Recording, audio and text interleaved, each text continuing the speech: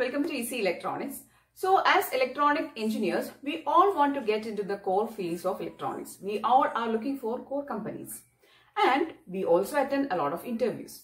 But most of the time, we lag behind some factors or something and we cannot really give maximum of our performance in these interviews.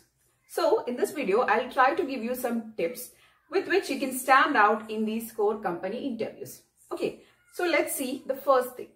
So the first tip is that when you're going to attend any particular company interview, you should be knowing enough things about the particular company. You should be knowing all their products, all their services, all the area of their workings and the products they actually create. Okay, so you should be knowing all these things.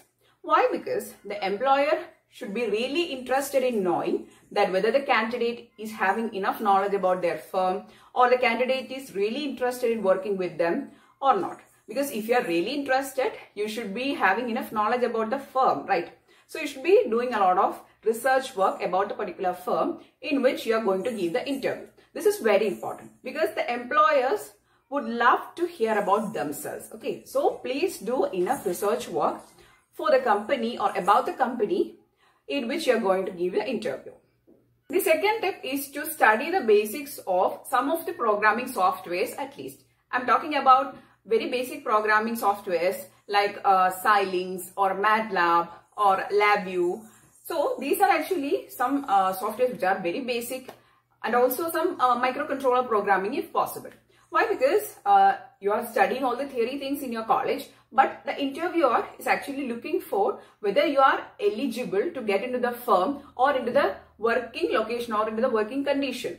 So you should be knowing at least the basics of these softwares. You should be at least knowing that which all softwares are being used for which all programmings. Okay. So I'm not telling you to download the software and start studying. Try to see some tutorials or some tutorial videos in which you should be getting to know about at least the basic structure of the softwares, which all uh, things are present, which all elements are present. You should be knowing that. Okay. Try to learn at least MATLAB or some uh, programming of the microcontroller. There are various microcontrollers and processors, right? So you should, you should be at least knowing that how the programming flow is. Okay, not the programming I'm talking about. You should be knowing the softwares, okay? So these are the second tips. The third tip is to study some basic programming languages. So as electronics people, we have some programming languages which are very important throughout our curriculum or in our uh, area, okay?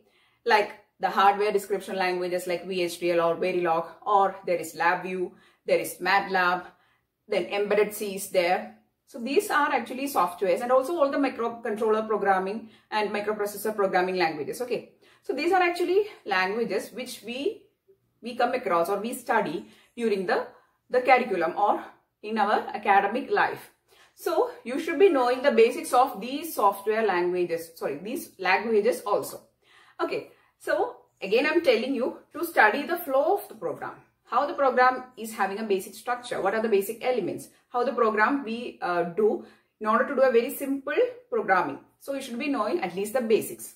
Okay, so that is very essential. I'm telling you 100% it will be useful if you study it because the interviewers are looking for candidates ready to put into a working environment. If you have that capabilities, then you are selected. So, third tip is to study the programming languages. I'm not telling you to study all the programmings, study the basics. Okay. The fourth tip is actually the thing we all do. That is studying about the basic components. Okay. So this is the fourth tip. You should study all the basic components and their working in a way that you should be ready to explain it to another person in very simple words. Consider you are going to explain about transistor. I'm not telling you to uh, start with there is an emitter, there is a base, there is a collector. You should be explaining all these things but in a way very simple. The interviewer may feel that you have the real confidence or real idea about a transistor. Okay. So try to be ready to explain it in very simple words so that the next person can understand that this is actually a transistor. So try to be that confident try to learn it in a way that is you should be that confident okay? So that is the fourth tip. Try to study all basic components like transistors SCRs Zener diodes diodes all the things okay? So all basic components you should be knowing. Because most of the times the interviewers won't be really interested in asking you all the rocket science, but will be interested in knowing that whether you know the basics. Okay, so basics are very important. I'm uh, constantly repeating the term basics. Why? Because it is actually very important. Okay, so you should be knowing the basic components. The fifth tip is that it's actually the most important one I would like to stress on. See, we have studied a lot of subjects in our uh, engineering life actually. Actually, we have studied a lot of subjects, right? And out of these subjects, some are the core subjects like DSP is there, network is there, control system is there, then digital electronics is there, analog electronics is there. So all these subjects we have studied and we call them core subjects. And when you are actually going for an interview, you should try to prepare about the practical applications of these subjects. Not just going uh, when you're going for an interview, but actually you should be knowing that, see, we have studied these subjects, but what are the real applications of these subjects? Like DSP, why, where we use DSP? I'll tell you a small scenario. So we have studied all these subjects, right? But what are the practical applications of these subjects? You should be knowing. Consider that DSP. If somebody is asking you what is the practical application or what is the application of DSP, what will be your answer? Just think.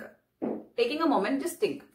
I'll tell you. See, we know that everything around us is analog, right? But we cannot really process these analog signals like temperature measurement or pressure measurement. We cannot really process these analog signals. So what we do, we measure them using some sensors, we convert them to digital and then we process them, right? So these are actually digital signals which we process, but they are actually corresponding to the analog quantity like temperature or pressure. Okay, so that is one application of DSP.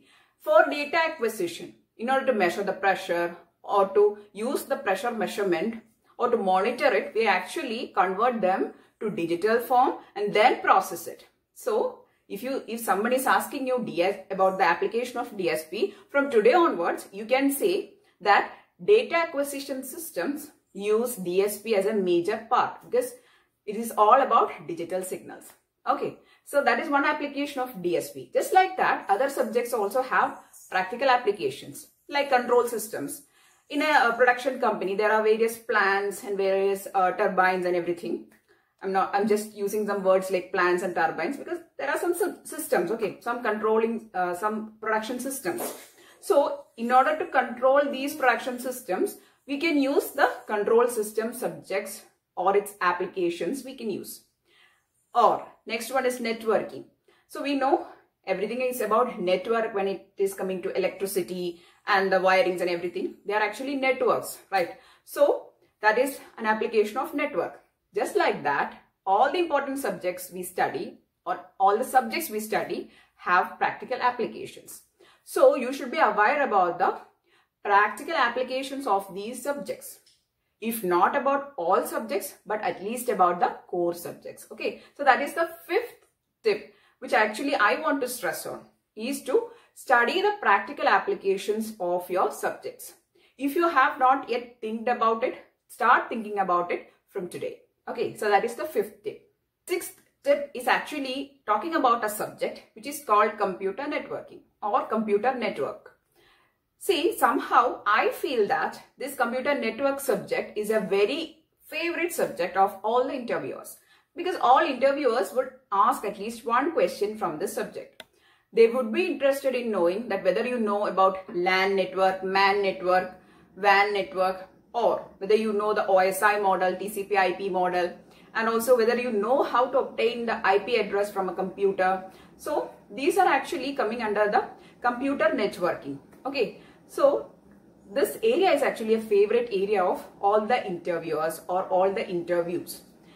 So whenever I have went for an interview, I had to face these type of questions like try to explain about the TCP IP model, try to explain about the WAN connection, or try to explain about the IP address of a computer, or what is IP protocol. So all these things are actually very important when it comes to interviews because somehow, as I said, is a favorite area of all the interviewers. Okay, especially if it is a networking company, then you can face a lot of questions from this area.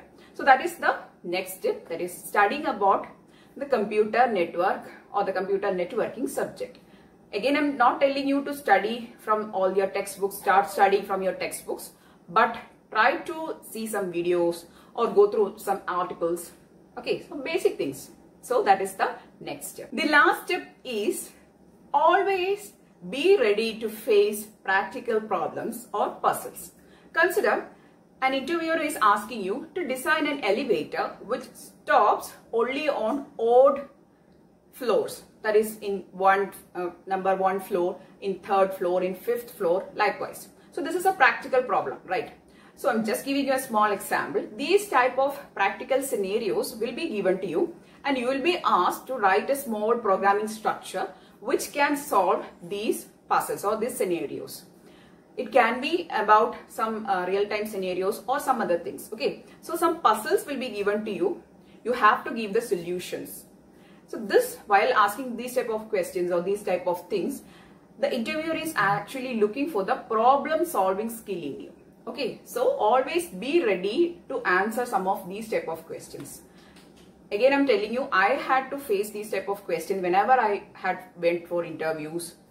So always be ready to solve these type of puzzles or real-time scenarios and try to give solve solutions for these these scenarios okay? So always ready to solve puzzles or real-time scenarios.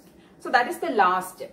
So these are actually some things which you have to think if you want to really stand out in these core company interviews.